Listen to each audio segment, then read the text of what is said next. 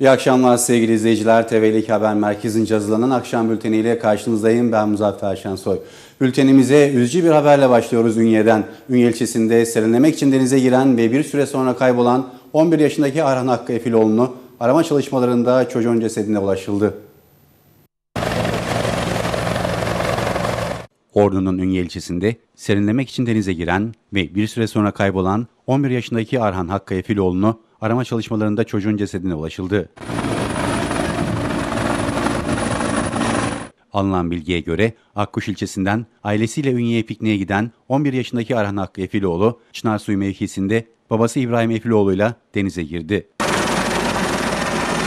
Arhan Hakkı Efiloğlu bir süre sonra akıntıya kapılarak kayboldu. Durumu fark eden baba, oğlunun bulunması için çevredekilerden yardım istedi.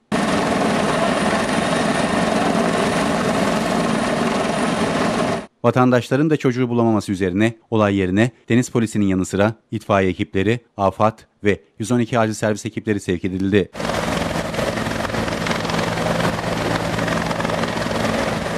Ekiplerin denizde bir saat arama yapmasının ardından sahil güvenlik helikopterinden destek istendi.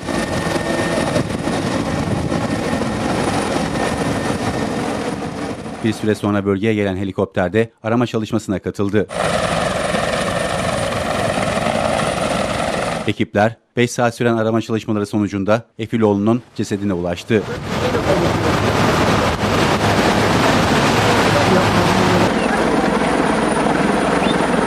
Kurtarma çalışmalarını izleyen çocuğun yakınları sinir krizleri geçirdi.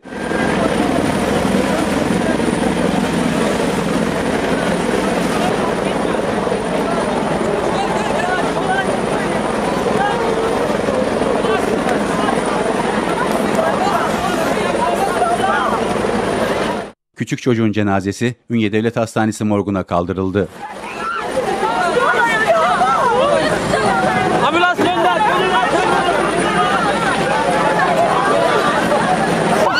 Bütün anne babalar yeter ki ce- cenazem çıksın, yerim olsun diyor. 24 Haziran seçimleri artık geride kaldı. Ordu Türkiye Büyük Millet Meclisi'nde 6 milletvekiliyle temsil edilecek. Ordu'da 2 milletvekili çıkaran Cumhuriyet Halk Partisi milletvekilleri Ordu İl Başkanlığı'nda açıklamalarda bulundu. Cumhuriyet Halk Partili milletvekillerinin hedefinde ise MHP'den Ordu milletvekili seçilen Cemal Engin Yurt vardı. 24 Haziran seçimlerinin ardından Cumhuriyet Halk Partisi Ordu Milletvekilleri Seyit Torun ve Doktor Mustafa da Güzel, Cumhuriyet Halk Partisi Ordu İl binasında basın mensuplarının karşısına çıktı. İlk olarak konuşma yapan Cumhuriyet Halk Partisi Ordu İl Başkanı Yusuf Furtun, seçim akşamı yaşanan olaylara dikkat çekti. Bazı televizyon kanallarında öncelikle bunu belirtmek istiyorum. Ee, dün akşam bir milletvekili adayı tarafından, milletvekili tarafından çok hoş olmayan söylemlerde bulundu. Biz seçim akşamı canlı yayında burada insanlarımızı sokağa dökmek için değil, birleştirmek, bütünleştirmek için burada olduğumuzu söyledik. Ama kapımızın önüne kadar gelip dayananlara hiç kimse ses çıkarmadı. Emniyet güçlerine bir takım naaş olayları önlediği için çok teşekkür ediyorum. Daha sonra ise Cumhuriyet Halk Partisi Ordu Milletvekili olan Doktor Mustafa da Güzel söz aldı. Adı Güzel'in hedefinde Milliyetçi Hareket Partisi'nden Ordu Milletvekili olan Cemal Engin Yurt vardı. Tabii bir seçim bitti. Bu seçimin e, işte aritmetiği konusunda eksiklerimiz, fazlalarımız konusunda partiler gerekli siyasi değerlendirmeleri, kendi iş değerlendirmeleri kendileri yaparlar. Artık bunun e, halk tarafından bakılan tarafı halk artık hizmet bekliyor. Biz bu kendi tartışmalarımızı diğer partilerde biz de kendi içimizde yaparız. E, bizim e, bundan sonraki süreçte e, asla ötekimiz olmayacak. Ben bütün oy veren, vermeyen bütün vatandaşlarıma teşekkür ediyorum. Bizim daha özelimiz ve daha güzelimiz olmayacak. Bütün vatandaşlarımız bizim için özel, bütün mahallelerimiz bizim için güzel. Ben bütün tercihlerimi onlar adına halktan ve halktan yana kullanacağım. Bunu buradan beyan etmek istiyorum. E, kısaca da dünkü o e, Sayın Başkan'ın belirttiği bir televizyondaki konuşmasında çok talihsiz bildiğimiz e, Cemal işte yani e, her zaman gibi. Daha önceki televizyon programlarında hani bana kavgacı diyorlar. Çok sene geçti. Ee, çok şey değiştirdi. Hakikaten değişmiş, daha beter olmuş kendisi. Şimdi o belli ki e, milletin sorunlarıyla ilgilenmek yerine seçim biteli bayağı bir zaman oldu. Hala da seçim havasından kendisini alamamış. E, o adeta e, okey'e dördüncü arıyor benim gördüğüm kadarıyla. Biz onu yapmayacağız.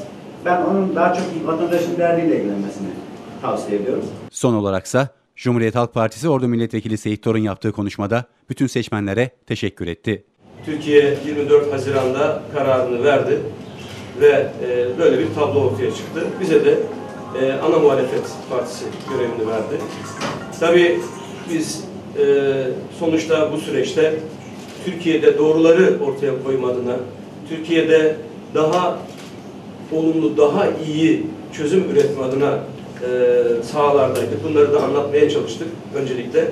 Ben bu çalışma esnasında e, bize katkıda bulunan, oy veren, vermeyen herkese çok teşekkür ediyorum. Seyit Torun seçim sürecine değindi ve adaletsiz bir seçim geçirdiklerini dile getirdi. Bu seçim sürecinde çok önemli şeyler yaşadık. Bir kere o hal koşullarında bir seçime gittik. Devletin bütün imkanlarını kullanarak, bütün gücünü kullanarak topyekün maalesef e, haksız bir seçimle karşı karşıya kaldık. Adaletsiz bir seçimle karşı karşıya kaldık. Birileri korkutarak, sindirerek, tehdit ederek ve demin de söylediğim gibi devletin bütün yetkilerini kullanarak, bütün medyayı kullanarak topyekün bir mücadele. Biz gönülleri ülke aşkıyla dolan, ülkesini ve milletini seven, insanlarımızla birlikte, partilerimizle birlikte bu mücadeleyi devam ettirdik. Orduların hizmetinde olacaklarını belirten Seyit Torun, diğer milletvekillerine seslendi. Herkes haddini bilsin, bu mevkiler sokak ağzının konuşulacağı yerler değil dedi. Bu ülke hepimizin. Bu ülke üzerinde tepineceğimiz bir alan değil. Ordu bizim kendi kişisel egolarımızı gerçekleştireceğimiz bir alan değil. Herkes haddini bilsin ve yerini bilsin. Eğer sokak ağzıyla konuşacaksa sokakta kalsın. Ama gerçekten devlet ağzıyla, ülke sorumluluğuyla hareket edecekse de o sorumluluğun bilincinde olsun. Ee, buralar şov alanları değil. Bu sorumluluklar şaklabanlık yeri de değil. Buralar sorumluluk isteyen ve o sorumluluğu yerine getirilmesi gereken alanlar. Çünkü halk bir yetki verdi, bir temsil yetkisi verdi. O temsilin de layıkıyla yapılması gerekir. Eğer bunu yapmıyor da e, farklı şekilde davranıyorsa e, o e, doğru değil. Onun yeri sokaksa sokağa geri dönecek o zaman. Ordu'da denizlerde avlanma yoluyla elde edilen balık miktarı 3 yıl önceki rakamları yakalayamadı. 2013 yılında Ordu karasularında 25 bin ton balık avlanırken 2017 yılında 18 bin ton balık üretimi gerçekleşti. Bayrak!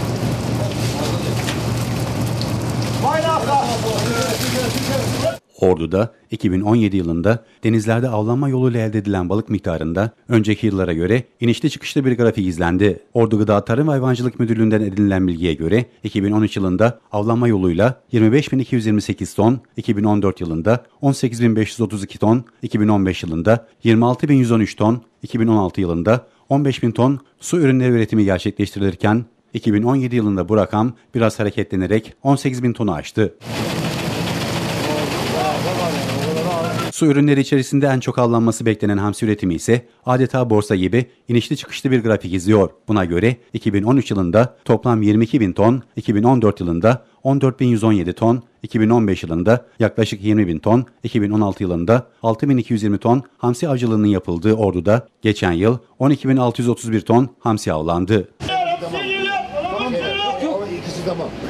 2013 yılında 1000 ton, 2014 yılında 1608 ton, 2015 yılında 3378 ton, 2016 yılında 1540 ton olarak gerçekleşen istavrit üretimi 2017 yılında 2158 tonu aştı. Yine 2013 yılında 821 ton olarak avlanan mezgit üretimi ise 2017 yılında 1606 tona yükseldi. 2013 yılında 323 ton, 2014 yılında 756 ton, 2015 yılında 323 ton, 2016 yılında 4875 ton olan palamut avı miktarı 2017 yılında büyük bir düşüş gerçekleştirerek 650 ton olarak avlandı.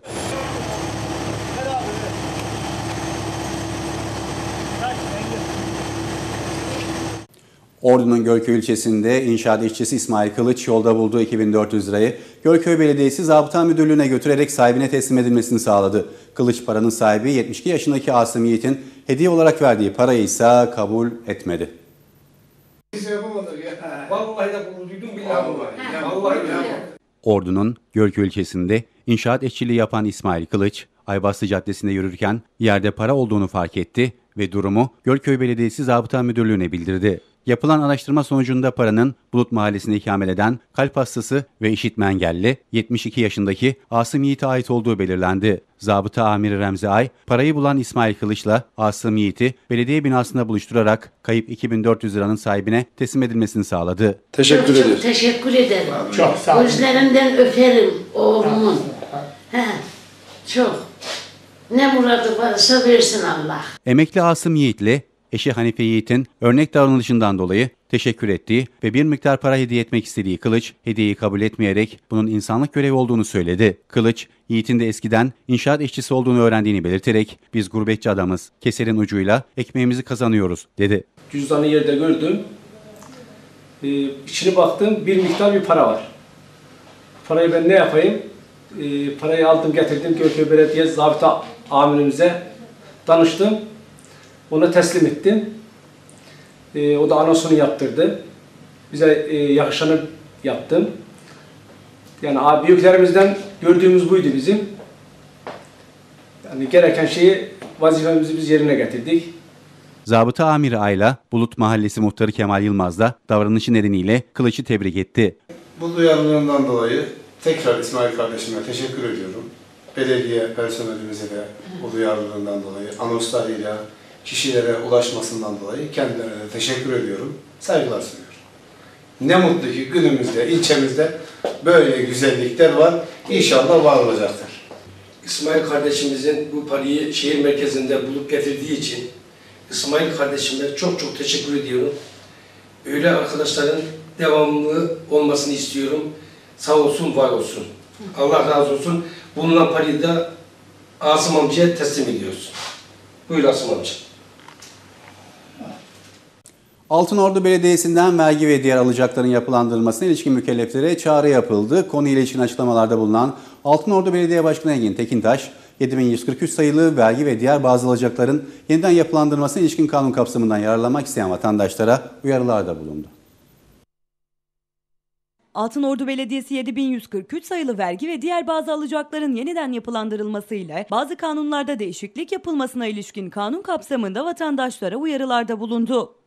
Altınordu Belediye Başkanı Engin Tekintaş 7143 sayılı vergi ve diğer bazı alacakların yeniden yapılandırılmasıyla bazı kanunlarda değişiklik yapılmasına ilişkin kanun kapsamından yararlanmak isteyen vatandaşlara uyarılarda bulundu.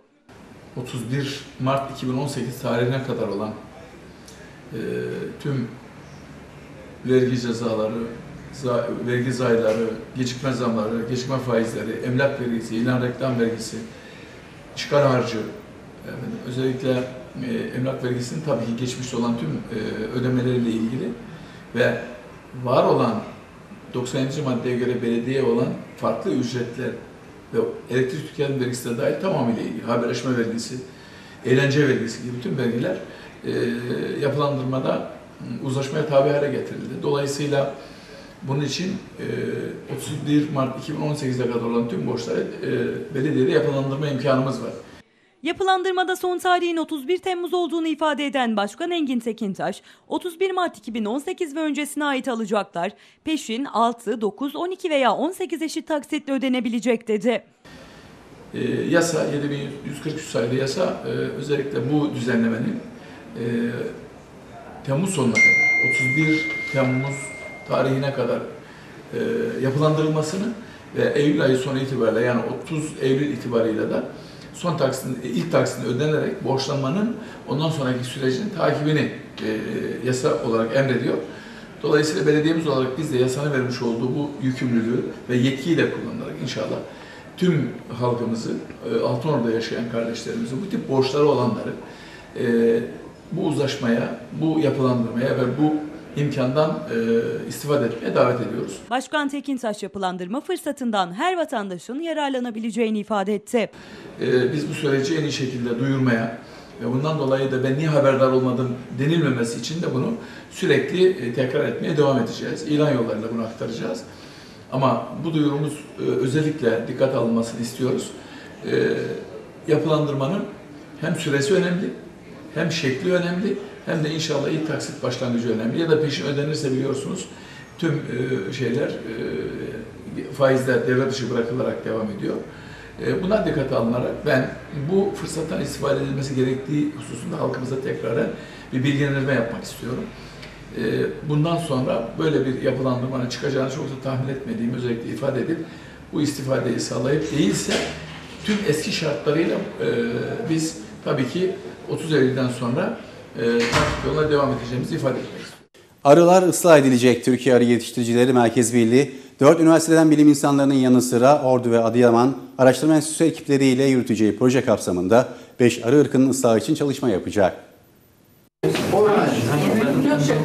Türkiye Arı Yetiştiricileri Merkez Birliği koordinasyonunda oluşturulan bilim insanları heyeti, Türkiye'deki 5 arı ırkının ıslahı için çalışacak.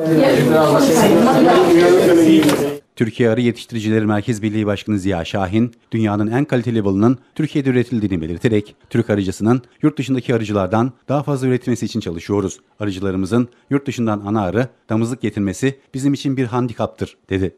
Şahin, Türkiye'nin yıllık 106 bin tonla dünyanın ikinci büyük bal üreticisi olduğunu söyledi. Nörofizyoloji yani arıların Türkiye'de üretilen balı kimliklendirme çalışmalarını sürdürdüklerini anlatan Şahin, bu kapsamda kestane, geven, ayçiçeği, pamuk ve narenciye balının kimliklerinin çıkarıldığını kaydetti. Türkiye zengin bir genetik zenginliğimiz var.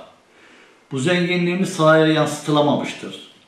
Ee, Türkiye'de Kafkas, Muğla arısı ve İzmir'deki e, Ege arısı, e, bunlar bir de Çorum'da e, arımız, birliğimiz tarafından yapılan arımızın ıslah çalışmaları, tanımlama çalışmaları bitirilmiştir, yapılmıştır.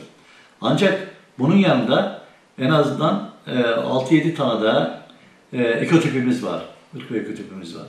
Islahın yapılıp bunların koruma alanları, damızlık merkezlerinin korunması gerekiyor.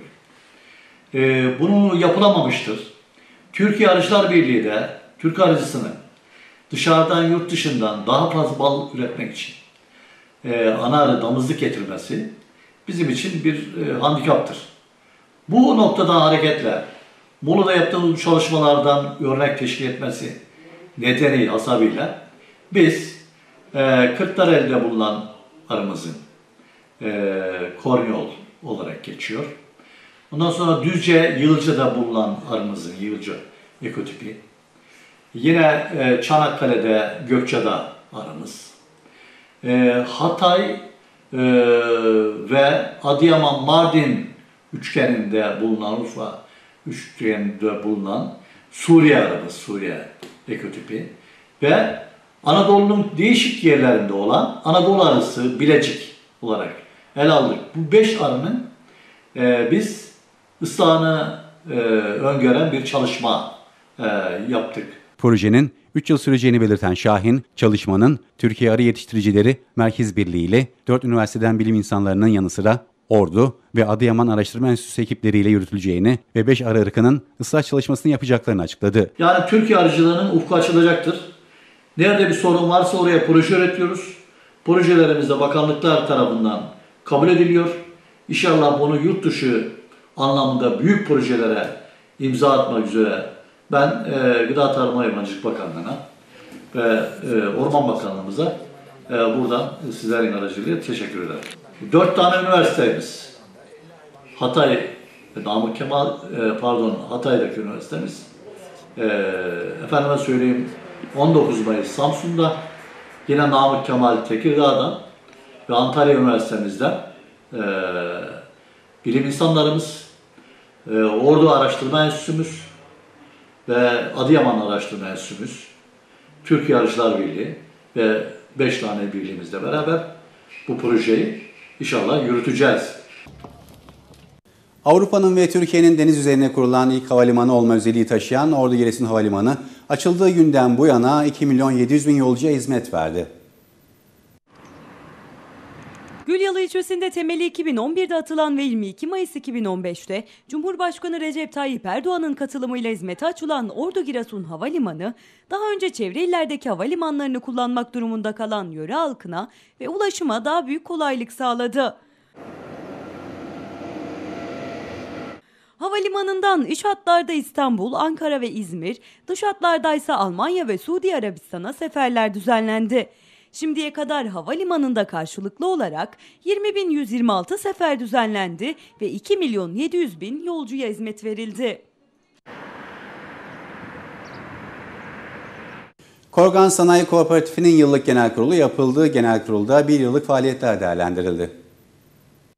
Var. 7 gündem maddesine e, divan heyetinin teşkil edilmesi şu an divan heyeti teşkil edildi. Korgan Sanayi Kooperatifi'nin yıllık olan genel kurulu yapıldı. Belediye Meclis Salonu'nda yapılan genel kurula 80 civarında üyenin yanı sıra Korgan Belediye Başkanı Tuncay Kiraz da katıldı. Düşürülmesi ve ibrası 2016 yılı bilanço ve kar zarar cetvelinin görüşülmesi ibrası 2017 tahmin, tahmini bütçenin görüşülmesi 7 dilek ve temenniler kapanır.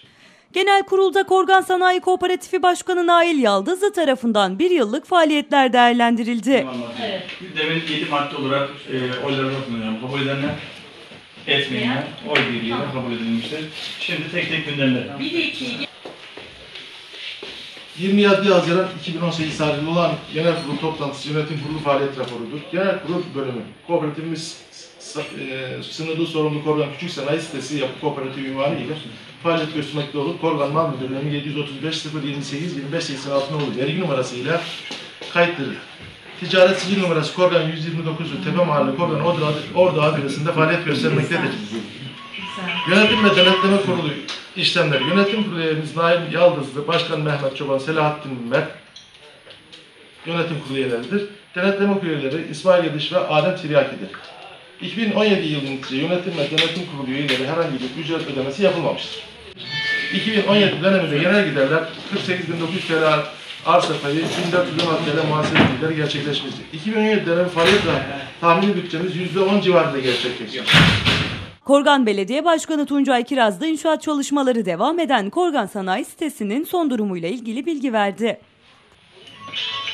Şefkat Yerimler dizisinde canlandırdığı Selami Taşkapı karakteriyle fenomen olan Ordulu sempatik oyuncu Mert Türkoğlu, Stockholm'un ardından dün akşam Ordu'nun Altınordu ilçesinde düzenlenen törenle hayatının en anlamlı imzasını atarak dünya evine girdi. Türkoğlu ve eşinin bu mutlu günlerinde ailesi, sevenleri ve rol arkadaşları da yalnız bırakmadı.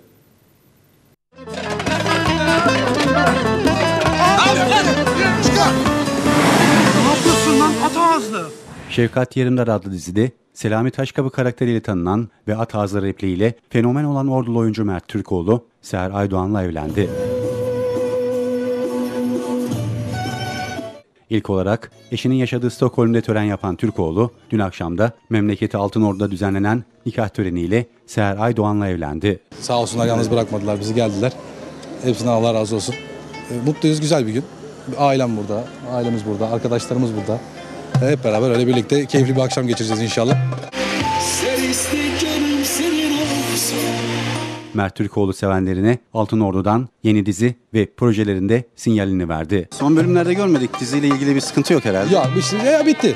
E, Sezon finali de bitti yani herhalde bir daha. Bir dahaki dönemde herhalde devam edeceksin. Yeni projeler var ama belli değil daha hiçbir şey. Eylül'den sonra bakalım kısmetse. Altınordu ilçesinde düzenlenen nikah töreninde Yıldız Geçidi yaşandı. Törene Mert Türkoğlu ve eşi Seher Aydoğan'ın yakınlarının yanı sıra en son oynadığı Şefkat Yerimdar adlı diziye Şefkat karakteriyle can veren Özgür Can Çevik, Esin karakteriyle Başak Parlak, Tellak karakteriyle Murat Makar, Manav Üzeyir karakteriyle tanıdığımız İnanç Koçak'la Yuvamdaki Düşman, Tutsak, Gülümse Yeter, İlişki Durumu Karışık, Tozlu Yollar, Güzel Çirkin, Muhteşem Yüzyıl, Lale Devri, Keskin Bıçak, İyi Uçuşlar, Vurgun, Kavak Yelleri, Kanun Namına, Parmaklıklar Ardında gibi dizilerden tanıdığımız Pamir Pekin'le daha birçok ünlü katıldı. Yani Mert çok sevdiğimiz arkadaşımız. Umarız ilk ve son olur. yani böyle özel bir günde yalnız bırakmadık. Mert'in düğününe geldik. Her şey çok güzel. Umarım çok mutlu olacağına inanıyoruz. Keyfiniz çok yerinde. Mutluluklar diliyoruz. Etti kendi buldu. Biz ne diyelim bu saatten sonra? Ömür boyu mutluluk dilemek istiyoruz arkadaşımıza. Kardeşimizin yanındayız. Ee, çok güzel bir yerdeyiz. Oradayız. Çok mutluyuz. Sevgiler, saygılar bütün izleyenlere sağ olsunlar. Çok mutluyuz hepimiz tabii ki. Yani onun böyle mutlu olmasını da görmek bizi de çok mutlu ediyor. Tebrik ediyorum beyefendi. Bravo. Alkışlar Mert Türkoğlu. Kardeşimizin düğününe geldik çok mutluyuz ya.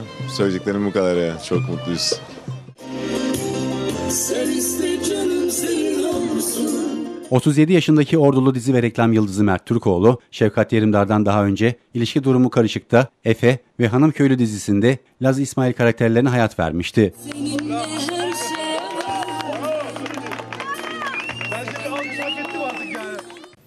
Mert Türkoğlu'nu tebrik ediyor ve sıradaki üzücü bir haberle bültenimize devam ediyoruz. Ordu'da birçok öğrenci yetiştiren emekli öğretmen Hanzade Uzun Ömeroğlu vefat etti.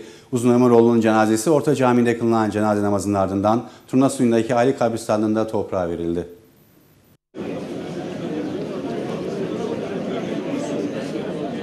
Merhum emekli öğretmen Hüseyin Avni Uzun Ömerlioğlu ve merhume Ferdiye Uzun Ömerlioğlu'nun kızı Gültürk Keleşoğlu, Gülay Yılmaz, Ömer Uzun Ömerlioğlu ve Aysun Furtun'un kardeşi Yiğitan Keleşoğlu, Volkan Keleşoğlu, Öykü Furtun, Gül Furtun, Çağın Yılmaz'ın teyzeleri Ümit Hüseyin Ümit Uzun Ömerlioğlu'nun halası emekli öğretmen Hanzade Uzun Ömerlioğlu vefat etti.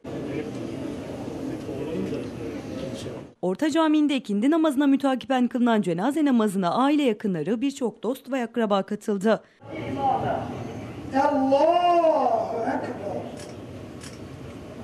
Cenaze namazının ardından Turna Suyu'ndaki aile kabristanlığına defnedildi.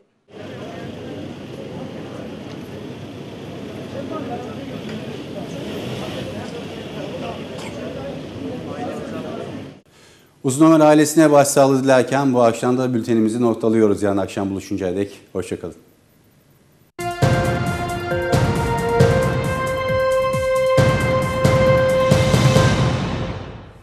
Altın fiyatlarında bugün Cumhuriyet altını 1256 lira, gram altın 185 lira 67 kuruş, çeyrek altın 304 lira 02 kuruştan işlem gördü. Döviz kuruna gelince avro 5 lira 33 kuruştan, dolarsa 4 lira 59 kuruştan işlem gördü. Borsa İstanbul Yüz Endeksi ise 95.838 puandan işlem gördü.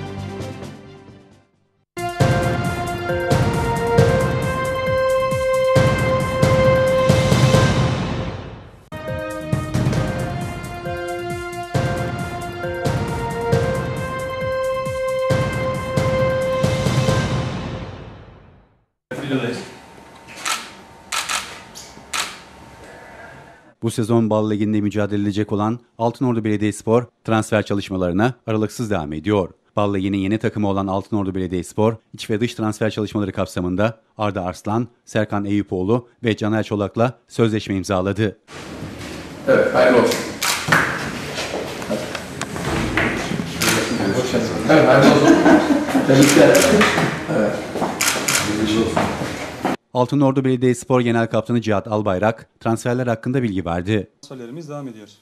Geçtiğimiz hafta içerisinde şampiyon kadrodan iş transferi olarak 9 tane futbolcumuzla görüştük. 9 tanesiyle imzalarımızı attık. Dış transferden Karadeniz Ereğli'de geçen sene top oynayan Ordulu kalecimiz Ali Köksal ile anlaştık. Ee, Muş Belediyespor'da oynayan Serkan Eyüpoğlu ile anlaştık. Ordu Spor'da daha önce forma giyen Tolga Yılmaz'la anlaştık. Bugün de Arda Arslan ile e, PTT 1. Lig'de, 3. Lig'de, 2. Lig'de ve en son Bal Ligi'nde Orduspor forması giyen Arda Arslan'la anlaştık. Dış transferimiz devam ediyor. İş transfer görüşmelerimiz devam ediyor. İnşallah Bal Ligi'ne hazırladığımız takımı sonuçlandıracağız. Ve güzel bir sezon açısıyla inşallah sezona başlayacağız. İmza töreninde konuşan futbolcular mutluluklarını dile getirdi. Öncelikle yeni bir ortam, yeni bir takım, yeni bir mücadeleye başlayacağız. Mutluyum. Altınordu Belediye Başkanı Engin Tekintaş ise hedeflerinin üst ligler olduğunu söyledi. 4 yıl sonra kuralları e, doğru belirlenen ve altyapısı güzel oluşturulan bir hedefe ulaştık. Geldiğimiz yer şimdi Ligi. İnşallah bundan sonraki süreçte hem e, bir üst lige tırmanabilmek için ciddi bir mücadele verebilmek ama diğer taraftan da bu ruhu yok etmeden, bu, bu Altınordu Belediyesi'nin ortaya koymuş olduğu bu anlayışı yok etmeden hedefe ulaşabilmek. İnşallah bu sene e, Caner kardeşimizle de beklentimiz o daha üst seviyede bir futbolda onun da ötesinde sahayı e, her zaman e, bir başka e, alttan gelen ekibe örnek olabilecek şekilde doğru bir şekilde yönetmek, yönlendirmek ve sonuç almak.